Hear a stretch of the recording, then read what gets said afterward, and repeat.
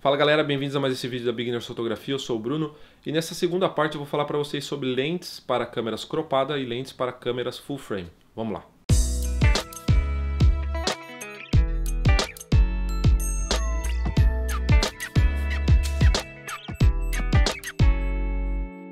Bom, então antes de falar das lentes, eu vou falar bem rapidamente da diferença entre câmeras full frame e câmeras cropada, e a diferença nada mais está no tamanho do sensor. O tamanho do sensor da câmera full frame é de 36 por 24 milímetros. O tamanho do sensor da câmera cropada da Nikon é de 24 por 16 milímetros, tá? Então ele tem o fator crop de 1.5, significa que é 1.5 vezes menor do que o sensor full frame.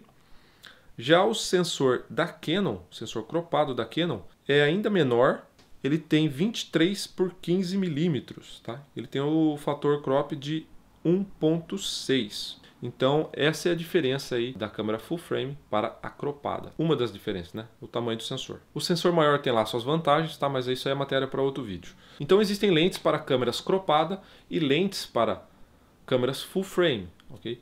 Uh, a lente para câmera full frame, ela cria um círculo de imagem maior do que a lente para câmera cropada.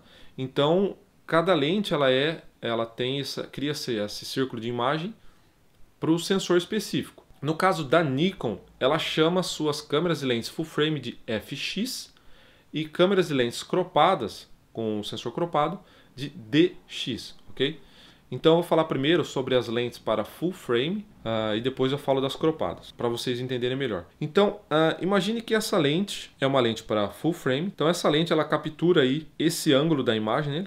ela essa quantidade lá da sua cena. Então é, é a lente ela captura a imagem redonda, né, arredondada. Então quando você adiciona essa lente em uma câmera com sensor full frame, você pode ver que o sensor consegue capturar toda a imagem né, que é gerada ali pela lente. Então você consegue preencher todo o sensor com a sua cena. Como o sensor é retangular, no final nossa imagem também fica retangular. Né? Se você adicionar essa mesma lente em uma câmera da Nikon com sensor cropado, essa lente também vai conseguir preencher ali todo o sensor com a cena. Então, como você pode deduzir, você pode usar lentes para câmeras full frame, tanto para câmeras full frame quanto para câmeras crop. Agora, quando você coloca uma lente para câmeras cropada em uma câmera full frame, vai acontecer o que? Nós temos aqui a lente de novo. Vamos supor que agora ela é uma lente para cropada e nós colocamos ela numa câmera full frame, ok? Então aqui ela está numa câmera full frame. Como o círculo de imagem que essa lente cria é menor, você pode ver que ela não consegue preencher todo o sensor full frame, né? Então você vai ter apenas essa parte da imagem aqui no sensor, tá? Essa que ela vai girar. E esse restante aqui vai ficar com aquela borda preta, tá? Aquela vinheta preta, mas esse é um tipo de vinheta que você não vai conseguir remover com o Lightroom. E quando você coloca essa mesma lente que é para crop no sensor cropado, você vê que essa lente é capaz de criar um ângulo de, de visão ali que preencha o sensor cropado, tanto da Nikon como da Canon. Então essa é a desvantagem se você colocar uma lente é, cropada num sensor full frame. Você vai criar essa borda preta. Mas a Nikon foi um pouquinho mais esperta nesse aspecto.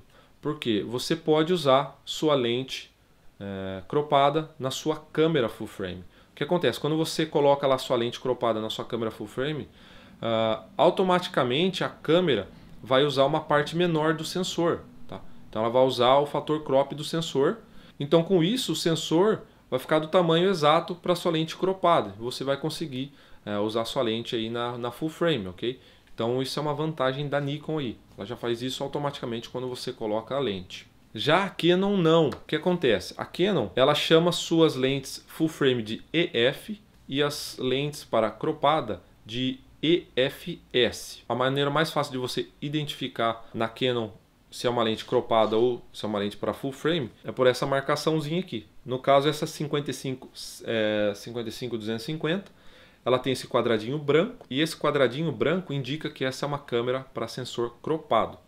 Eu tenho essa, como também tenho a 1855, tá? Então ela tem esse quadradinho branco aqui. As lentes para full frame tem a bolinha vermelha, como essa 50mm 1.8.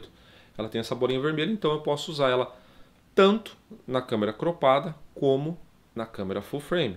Você vai ver nas câmeras da Canon também que ela tem é, a marcação aí na câmera. Então essa minha T2i, que é uma câmera com sensor cropado, ela tem a marcação tanto da bolinha vermelha quanto da branca. Então eu posso usar lentes para full frame e lentes cropadas nela.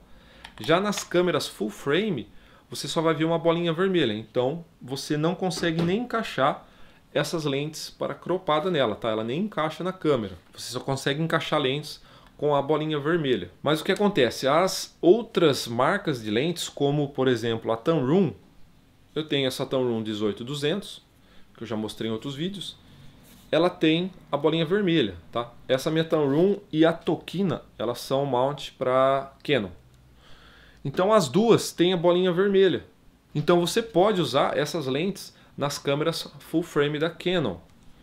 Uh, lembrando que com essa, como essas lentes são para sensores cropado, mas você consegue encaixar na full frame, a sua imagem vai ficar com aquela borda preta. A, a Canon ela já não foi tão inteligente quanto a Nikon, ela não tem Uh, você não consegue usar uma porção menor do sensor. Então, se você usar uma lente paralela, você tem que é, ficar esperto, né? Se você comprou para full frame ou se você comprou para cropada, tá? Porque ela tem a marcação da bolinha vermelha aqui, mas ela não é para full frame. Mas se você aproximar o zoom, no caso em 18mm você vai ver aquela borda preta. Mas se você aproximar o zoom, eu não, nem sei a quantidade certa, mas conforme você for aproximando o zoom dela, uh, essa borda preta vai sumir. Uh, na Tokina também, em 11mm aparece a borda preta, mas se você aproximar o zoom em 16 vai diminuir bastante. Então você tem que ficar atento nisso com as Canons. Né? Eu sei que a nova 5DS, 5DR, elas têm a opção de você uh, usar uma porção menor do sensor. Então aí eu acho que já resolve o problema uh, com essas lentes paralelas. Uma outra coisa que vocês têm que saber também é que se você usar, por exemplo, essa 50mm em uma câmera full frame, a distância focal dessa lente vai ser de 50 milímetros, ok? Se você colocar essa mesma lente em uma câmera cropada, como o sensor é menor, você vai ter uma imagem que equivale a uma lente de 85 milímetros. A imagem vai ser cortada, né, como sensor menor, e ela vai ampliar. Então você vai ter aí uma 50 milímetros que vai equivaler a uma 85 milímetros. Isso na cropada. Como vocês podem ver na imagem aí, a primeira imagem então Vamos supor que a gente usou essa lente 50mm. Na full frame ela tem aí a distância focal de 50mm, né, esse ângulo de visão. Se você colocar essa mesma lente uma Nikon, tá, ela vai ter esse fator crop de 1.5, então a imagem vai ficar mais aproximada. Né? E se você colocar outra 50mm em uma Canon, você vai ter o fator crop de 1.6 e sua imagem vai estar tá um pouquinho mais aproximada do que da Nikon ainda, porque o sensor é um pouco menor. Então antes de terminar o vídeo eu vou dar uma dica bem legal para vocês aí que tem lentes da Canon com quadradinho, as lentes EFS que são para cropada.